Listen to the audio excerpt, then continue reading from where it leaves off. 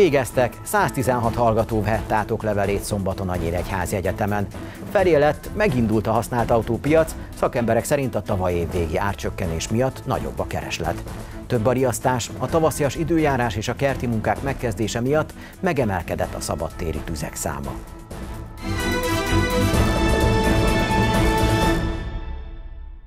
A közel 170 végzősből 116 hallgató vehett át személyesen oklevelét szombaton a Nyíregyházi Egyetemen.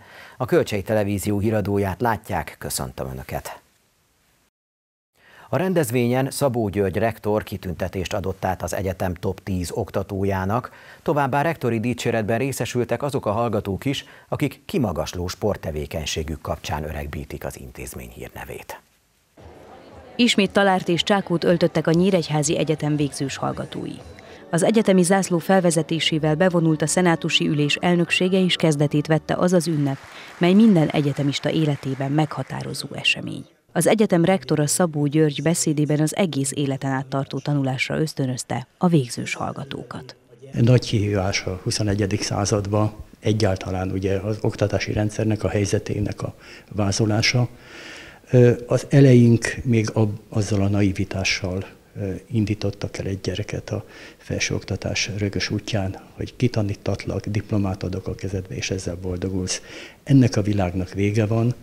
Ez a generáció, aki ma szányra kap, az egész életen tartó tanulás folyamatába betagozódik, alapképzés, mesterképzés, felsőoktatási szakképzés vegyes a kép. A mintegy 4000 hallgatónkból 170 hallgató kapott záróvizsgázott, és ebből személyesen mintegy 120 hallgató fogja a közeli percekben átvenni a, a oklevelet. Szabó Tünde országgyűlési képviselő kiemelte, a modellváltásnak köszönhetően tovább nőtt az oktatás színvonala az intézményben. Kedves végzős hallgatók! Jó érzés osztozni elismerésükben, amely annak köszönhető, hogy az igaz teljesítmény tükrében oktatóik, családtagjaik, barátaik és környezetük számára is megmutatták, hogy amit célként meghatároztak maguk előtt, sikerrel és felelősséggel tudják teljesíteni. Büszkeséggel tölt el, hogy a hallgatók tanulmányaik során az elmúlt tanévben is számos regionális, országos vagy akár világ eseményen képviselték eredményesen az intézményt, amelyhez ezúton is szívből gratulálok. Mindezek az eredmények minket is megerősítenek abban, hogy olyan jellemű, felelős fiatalok kezdik meg hamarosan a pályafutásukat, akikre már rátaláltak a példaképeik is. A két évvel ezelőtt elindult modellváltás nagy lehetőséget adott ahhoz, hogy egy dinamikus növekedési pályára állítsa az intézményt. A köszöntők végeztével oktatói és hallgatói elismerések átadása következett. Jutalmazták az egyetem top 10 oktatóját. Kilenc hallgató részesült rektori dicséretben kimagasló sport tevékenysége kapcsán, mellettük Pro Discipulis Akadémiai kitüntetést kapott Bujáki Sándor, osztatlan tanári szakos hallgató.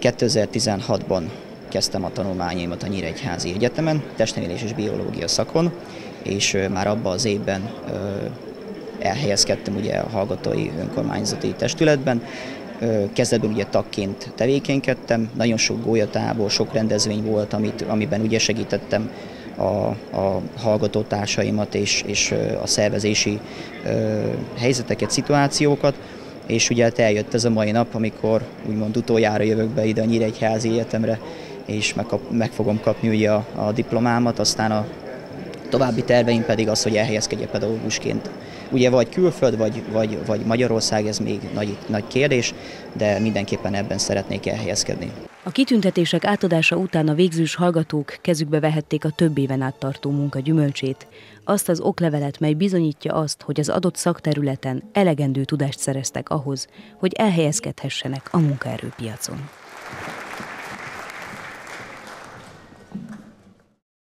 Szombaton és hétfőn is történt egy halálos kimenetelű közlekedési baleset a Vármegyében.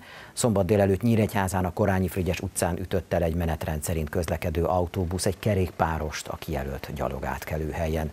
A helyszínre mentőhelikopter is érkezett, de az idős férfi a helyszínen életét vesztette. Hétfőn reggel a 41-es főúton Apagy és Napkor között frontálisan ütközött két személyautó. Az egyik gépjárműben egy 60 év körüli férfi életét vesztette, míg gyermekkorú utasa súlyos, életveszélyes sérülés szenvedett. A másik személygépkocsi sofőrje könnyebb sérülésekkel megúszta a balesetet. A sérülteket a mentők a Nyíregyházi kórházba szállították. Megindult a használt autópiac. Szakemberek szerint a tavaly év végi átcsökkenés miatt nőtt a vásárlók száma. A legkeresettebbek az alsó középkategóriás járművek, a prémium kategóriákban pedig nagyobb az áresés. Nehéz éveken van túl a használt autópiac. Az elszabadult infláció és a magas kamatok miatt sokkal kevesebben gondolkodtak autóvásárlásban. Az elmúlt hónapokban azonban kedvezőbbé vált a környezet a használt autókereskedelem számára. Gyakorlatilag a tavalyi év vége felé, november-decemberben is egy erősödés tapasztalható volt a piacon. Ez részben a vásárlók kedvének is köszönhető, illetve annak is, hogy, hogy lejjebb mentek az árak. Ez megindult az új autók piacán, az utolsó negyed évben jelentős átcsökkenéseket hajtottak végre az új automárkák, és ebből kifolyólag a használt autók ára is 10-15 szájkkal lejjebb esett, és ez meghozta a vásárlók kedvét.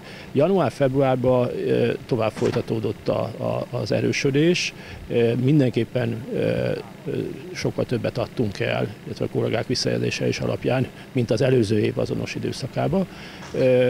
Az árak most már nem emelkednek, hanem stagnálnak, illetve nagyobb értékek esetében egy picit csökkennek.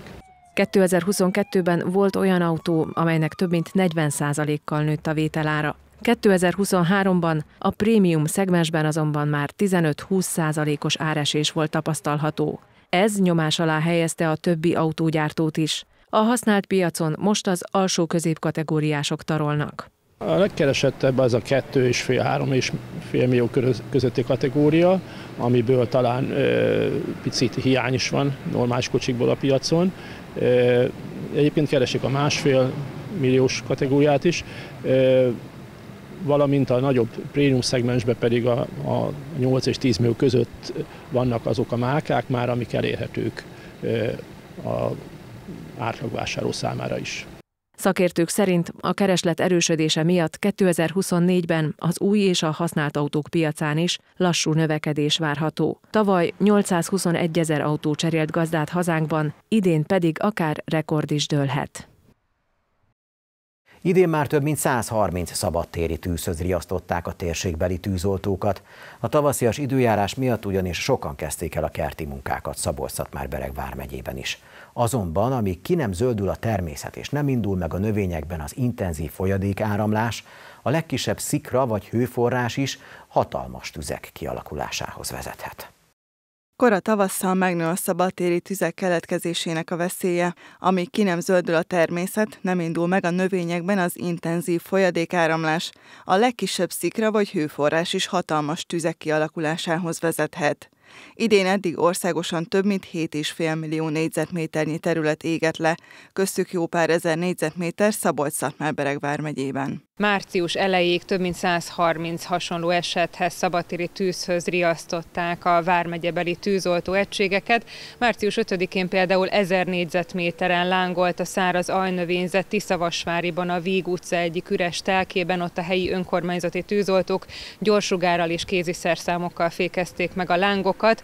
Ópáiban is szintén 1000 négyzetméteren lángolt a száraz fű a Széchenyi István utcában, ott a Máté Szalkai hivat hivatásos tűzoltók oltották el a szabadtéri lángokat. A lábon álló növényzet, a nádas és a tarló a kerti munkálatok során keletkezett hulladék szabadtéri égetése alapvetően tilos, de az önkormányzatok rendeletben szabályozhatják ezt. Ahol nincs semmilyen rendelet, ott tilos, Nyíregyházán például 2020 óta. Érdemes tájékozódni tehát az adott településen, hogy van-e ilyen jellegű önkormányzati rendelet, ami esetleg szabályozza, hogy mely napokon hány órától hány óráig lehet esetleg égetni. Vannak ilyen települések, akár mondjuk nyírtelekre is gondolhatunk, tehát érdemes tájékozódni a jegyzőnél, az önkormányzatnál, hogy van -e ezzel kapcsolatos rendelet. Viszont, hogyha van is ilyen rendelet, és le van szabályozva, hogy égethetünk esetleg zöld hulladékot, akkor nagyon fontos, hogy a tűzvédelmi szabályokat, előírások szabályokat tartsuk be, tehát hogyha égetünk is esetleg zöld hulladékot a kertünkbe, akkor mindenképpen legyen megfelelő mennyiségű oltóvíz a közelben, illetve valamilyen kéziszerszám, akár egy lapát, egy gerebje, amivel esetleg kordában tudjuk tartani a szabadtéri lángokat. Amennyiben feltámad a szél, azonnal el kell oltani a tüzet. Ha mégis tovább terjedne, a 112-es segélyhívó számon kell értesíteni a szakembereket. A tűzvédelmi előírások megszegése az okozott kár és a veszély mértékétől függően 20 ezer forinttól akár 3 millió forintig terjedő bírsággal is járhat. Több mint 19 millió vendégészakát töltöttek el a belföldi vendégek a vidéki szálláshelyeken tavaly. A vármegyék adatainak összesítése alapján a legtöbb belföldi turista Pest vármegyéből indult útnak 2023-ban, míg a legmesszebbre Jásznagykunszolnokból, Bácskiskumból és Baranyából utaztak a pihenni vágyók. Átlagosan a leghosszabb ideig Szabolcs-Szatmár-Bereg, Tolna és Borsod turistái pihentek. A négy-öt csillagos hotelekben Győr-Moson-Sopron utazói foglaltak a leggyakrabban szállást. A kempingek Komárom-Esztergom, míg a vendégházak Békés vármegye turistái körében voltak a legkedveltebbek tavaly, derül ki a Nemzeti Turisztikai Adatszolgáltató Központ adataiból. 19. századi bécsi fotókból, kottákból és egyéb fotótörténeti érdekességekből nyílt kiállítás a Múri Zsigmond megyei és városi könyvtárban. A megnyitón az osztrák és a kelet-magyarországi kulturális kapcsolatokról Barabás László, Ausztria tiszteletbeli konzulja beszélt, majd a bécsi keringő történetéről és korabeli fotográfiákról hallhattak előadást az érdeklődők. Egy internetes képmegosztó portálon az utóbbi évek folyamán kialakult egy régi fotográfiák szerelmeseiből álló virtuális közösség, melynek tagjai nagyon szép és gazdag képanyaggal rendelkeznek többek között bécsi műtermekben készült portrékból. Így adódott, hogy létrehozták a Wiener Walzer kiállítást, amely most a Nyíregyházi Móricz Zsigmond megyei és városi könyvtárban tekinthető meg. Az ötletet a Debrecen Egyetem könyvtárában lévő egyik kotta adta, aminek az a címe, hogy Wiener Ball Fotografian Walzer.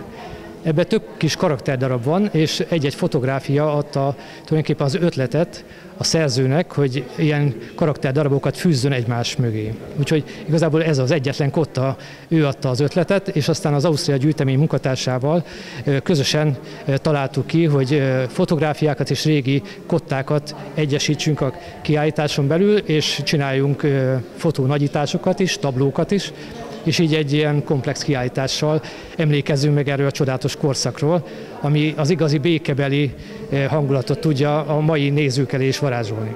A rendszerváltás után osztrák könyvtárak jöttek létre Kelet-Közép-Európában. Gyűjteményeket, központokat hoztak létre.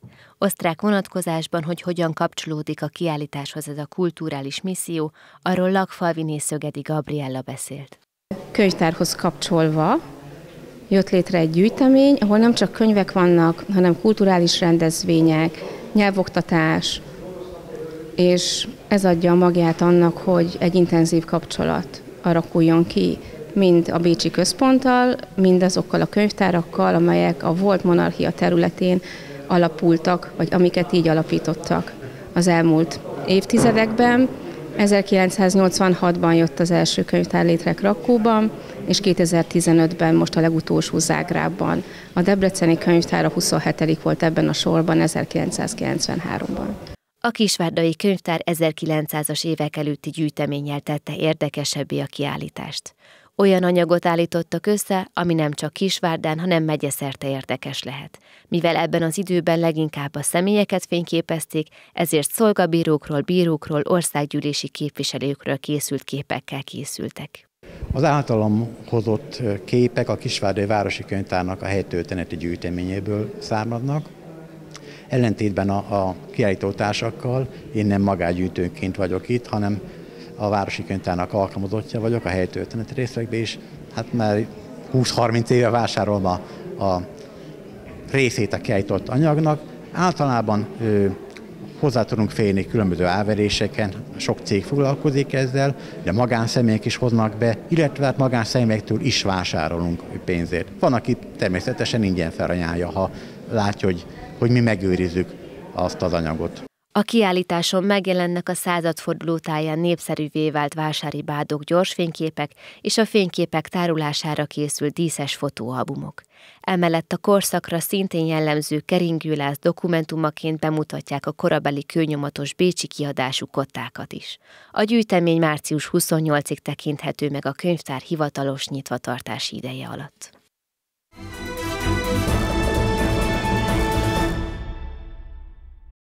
Elszenvedte 16. bajnoki vereségét a kisvárdai futballcsapat. Feckó Tamás együttese az NB1 24. fordulójában Kecskeméten kapott ki 3-1-re.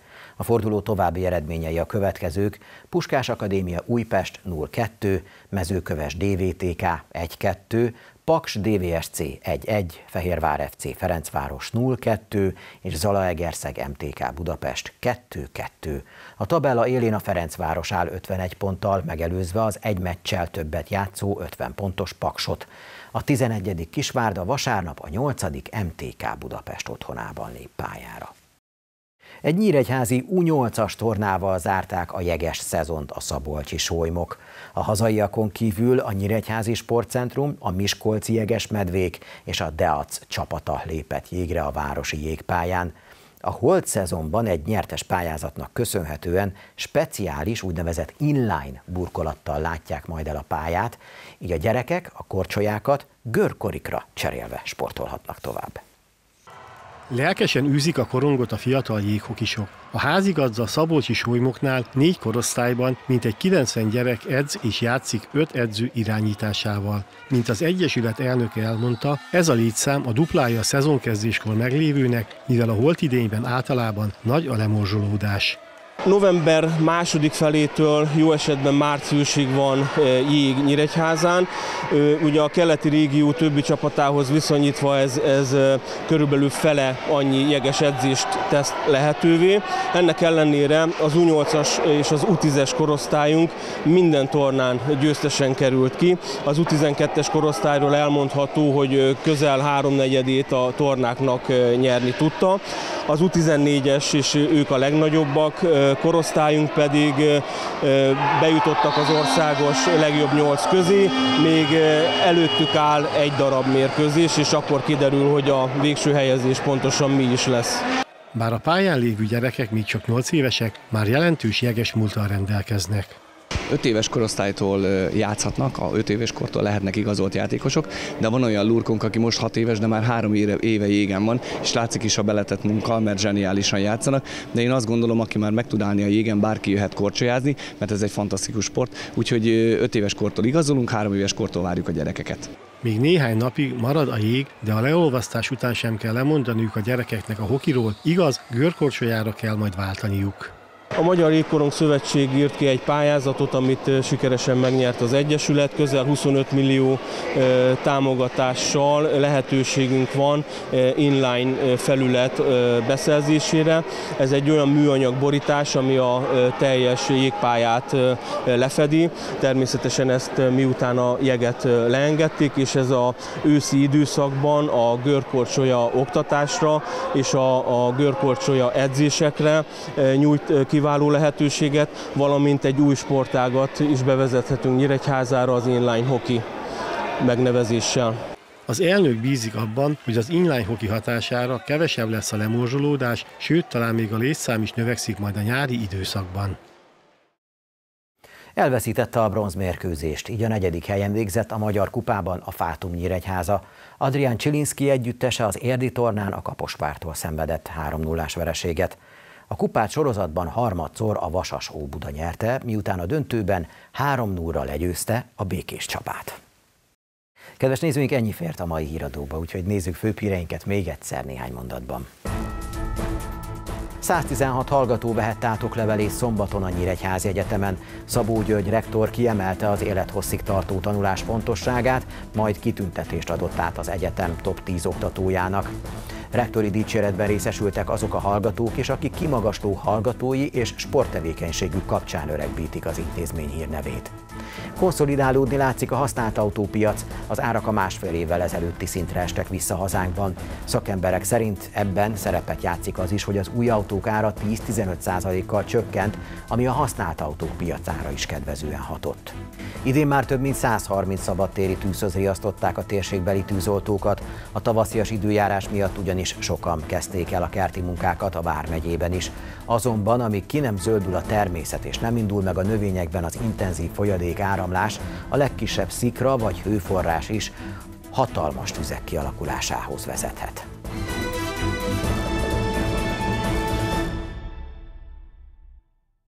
Március 11-én hétfőn Önök a Kölcsei Televízió híradóját látták friss hírműsorral legközelebb. Szokásunkhoz híven holnap jelentkezünk. Látogassanak el addig is a weboldalunkra. Én már a munkatársam nevében is köszönöm figyelmüket, jó pihenést, szép estét, viszontlátásra!